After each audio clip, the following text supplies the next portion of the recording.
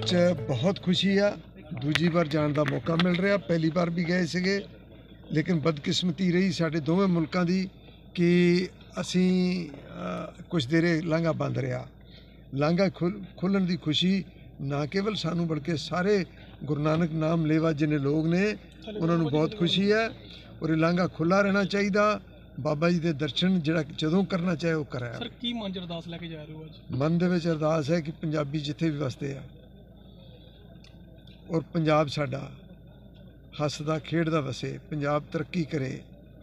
ਪੰਜਾਬ ਔਰ ਪਾ- ਹਿੰਦੁਸਤਾਨ ਔਰ ਪਾਕਿਸਤਾਨ ਦੇ ਸੰਬੰਧ ਅੱਛੇ ਹੋਣ।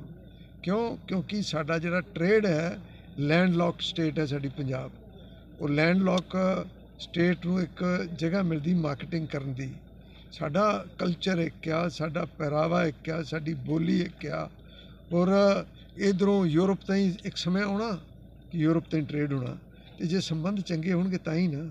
ਸੰਬੰਧਾਂ ਦੀ ਬਰਦਾਸ਼ਤ ਕਰਨੀ ਕਿ ਚੰਗੀ। ਪਹਿਲੀ ਪਾਤਸ਼ਾਹੀ ਗੁਰੂ ਨਾਨਕ ਦੇਵ ਜੀ ਦੇ ਪ੍ਰਕਾਸ਼ ਪੁਰਬ ਦੇ ਸ਼ੁਭ ਦਿਹਾੜੇ ਤੇ ਮੈਂ ਆਪਣੇ ਪਰਿਵਾਰ ਦੇ ਨਾਲ ਅੱਜ ਸਾਰੇ ਇਲਾਕੇ ਨੂੰ, ਸੂਬੇ ਦੇ ਲੋਕਾਂ ਨੂੰ, ਦੇਸ਼ ਭਰ ਦੀ ਲੋਕਾਂ ਨੂੰ ਅੱਜ ਗੁਰਪੁਰਬ ਦੇ ਇਸ ਸ਼ੁਭ ਦਿਹਾੜੇ ਤੇ ਬਹੁਤ-ਬਹੁਤ ਮੁਬਾਰਕਬਾਦ ਦਿੰਦਾ ਔਰ ਪਰਮ ਪਿਤਾ ਪਰਮਾਤਮਾ ਦੇ ਚਰਨਾਂ 'ਚ ਇਹੀ ਅਰਦਾਸ ਕਰਦਾ ਹਾਂ ਕਿ ਸਾਨੂੰ ਸਾਰਿਆਂ ਨੂੰ ਜੋ ਗੁਰੂ ਸਾਹਿਬ ਨੇ ਸਨੇਹਾ ਦਿੱਤਾ ਸੀ ਆਪਸੀ ਭਾਈਚਾਰੇ ਦਾ, ਸਾਂਝ ਦਾ, ਪਿਆਰ ਦਾ, ਉਸ ਨੂੰ ਬਰਕਰਾਰ ਕਰਨ ਵਾਸਤੇ ਔਰ ਉਸ ਸੁਨੇਹੇ ਨੂੰ ਅਸੀਂ ਕੱਲੇ-ਕੱਲੇ ਜਗ੍ਹਾ ਤੱਕ ਪਹੁੰਚਾ ਸਕੀਏ। ਅੱਜ ਦੂਜੀ ਵਾਰ ਆਪਣੇ ਪਰਿਵਾਰ ਸਮੇਤ ਕਰੋ, ਕਰਤਾਰਪੁਰ ਸਾਹਿਬ ਜਾਣ ਦਾ ਮੈਨੂੰ ਮੌ- ਮੌਕਾ ਮਿਲਿਆ ਔਰ ਹਜ਼ਾਰਾਂ ਲੋਕਾਂ ਦੀਆਂ ਅਰਦਾਸਾਂ ਲੈ ਕੇ, ਉਹਨਾਂ ਦੇ ਮਨ ਦੀਆਂ ਭਾਵਨਾਵਾਂ ਲੈ ਕੇ, ਉਹਨਾਂ ਦੇ ਚੰਗੇ ਭਵਿੱਖ ਵਾਸਤੇ, ਉਹਨਾਂ ਦੇ ਬੱਚਿਆਂ ਦੀ ਤਰੱਕੀ ਵਾਸਤੇ, ਉਹਨਾਂ ਦੀ ਆਮਦਨ ਦੀ ਤਰੱਕੀ ਵਾਸਤੇ ਅੱਜ ਗੁਰੂ ਸਾਹਿਬ ਦੇ ਚਰਨਾਂ 'ਚ ਜਾ ਕੇ ਮੈਂ ਅਰਦਾਸ ਕਰਨੀ ਹੈ ਔਰ ਮੈਂ ਇਹੀ ਬੇਨਤੀ ਕਰਦਾ ਕਿ ਆਪਾਂ ਸਾਰੇ ਜੋ ਗੁਰੂ ਸਾਹਿਬ ਵੱਲੋਂ ਸੁਨੇਹਾ ਪਹਿਲਾਂ ਆਪਾਂ ਨੂੰ ਮਿਲਿਆ ਆਪਸੀ ਭਾਈਚਾਰਕ ਸਾਂਝ ਤੇ ਪਿਆਰ ਦਾ, ਉਹਨੂੰ ਆਪਾਂ ਸਾਰੇ ਵੱਖ-ਵੱਖ ਜਗ੍ਹਾ ਤੇ ਲੈ ਕੇ ਚੱਲਾਂਗੇ ਔਰ ਇਹ ਕੋਰੀਡੋਰ ਖੁੱਲਾ ਰਹੇ।